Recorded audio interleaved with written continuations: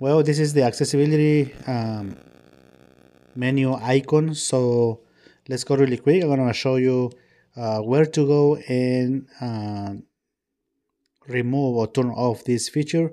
And after that i'm going to show you how important is this just in case that you're wondering uh, why is there floating on your screen. So let's go really quick and please subscribe to the channel smash the like button and share this video for your friends just in case that they would like to uh, learn how to use this one or to remove it from the screen. So open phone settings and you usually you're gonna get to this screen okay? So just scroll down and uh, locate accessibility. There you go. Open accessibility and then interaction and dexterity assistant menu slide to the left at the bottom confirm turn off and then uh, the floating icon has been disappeared okay? Just in case that you would like to have this uh, accessibility menu because uh, you need some uh, shortcuts there so quick access some those uh, uh, shortcuts. So let's just same step come to assistant menu and enable feature okay okay so to turn off assistant menu let's um, slide to the right. You're gonna see the menu immediately uh, appears on the screen. Uh, if you want to see other options assistant menu as uh, men, uh, shortcut at the bottom of this next screen assistant menu shortcut you're gonna see a person icon at the need of your screen on the bottom right if you touch this person your assistant menu will disappear. Okay so only you can uh, touch once to bring up uh, the uh, icon the floating icon. Okay so gonna touch this icon and these are the quick buttons that you can um, control your screen okay so your navigation buttons will be in this uh, section. So recent tabs right? So this is the tab history that when using on the phone. Um, and then your home screen previous page and so on.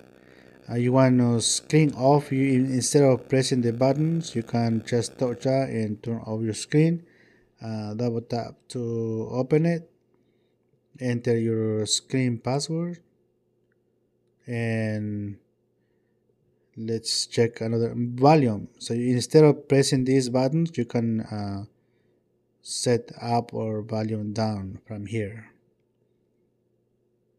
Okay of that. Another one is screenshot. Let's say that you are on the favorite display screen and you want to capture a picture to save it on your phone touch screenshot okay? And this is your screenshot. Um, now let's go again. Touch this arrow to go to the next page and here you can bring out the power menu. So instead of pressing this button just uh, you can touch the access accessibility menu and power off your phone, restart your phone, uh, open your medical info, emergency call, or and set up your site function buttons. Okay. Um, so I'm gonna touch my home button to go to the home screen. Okay, you can now you, from here you can also use screen control, pinch to zoom, uh, quick panel with with uh, uh, applications that you can access a notification panel. So you want to open notification panel from here just touch this one and um, you're gonna see your notification panel slowing down. Uh, clear that. Okay so this is the notification panel. You don't have any notification right now uh, so yeah uh, Okay, so this is uh, the functions of this accessibility menu. I'm gonna touch this person to disappear it just in case that uh, I don't want to have it, but as when I want to use it, just touch the person and you can move up and down your icon and keep it wherever you want, somewhere that won't um, disturb your use of screen. Okay, well, I hope that this information was helpful for you. Uh, let me know in comments if you have any questions and please subscribe to the channel, smash the like button and share this video for your friends. Thanks so much.